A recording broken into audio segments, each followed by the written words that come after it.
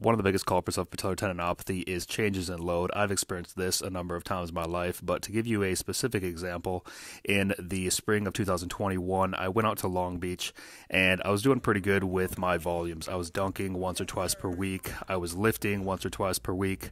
I did not have any patellar tendon pain. And then on one of the Sundays, I played basketball. I was feeling pretty good. Between each game, I was getting a few dunks in.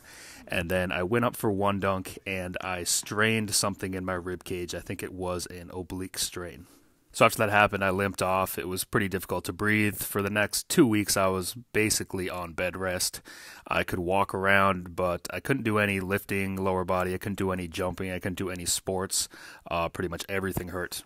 So after about two to three weeks, I went back out to the courts. I was feeling pretty good, played a few games, pick up basketball, and then I decided to go up for a few dunk attempts.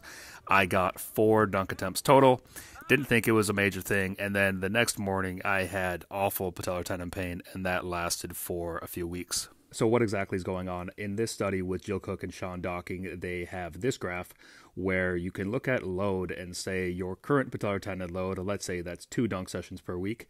If you completely take that away for two weeks and you move it to zero dunk sessions, you get a shift in the curve to the left. So, if you want to come back after two weeks to what you used to do, it's probably going to be too much for your patellar tendon because the capacity of your patellar tendon has went way down because you took the load away. So the lesson here is when you have significant downtime for whatever reason, you have to appreciate that your patellar tendon capacity has went way down.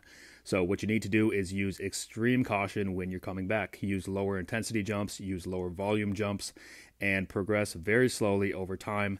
Pay attention to how your patellar tendon feels the next morning. So try that out. Hopefully that helps. Enjoy.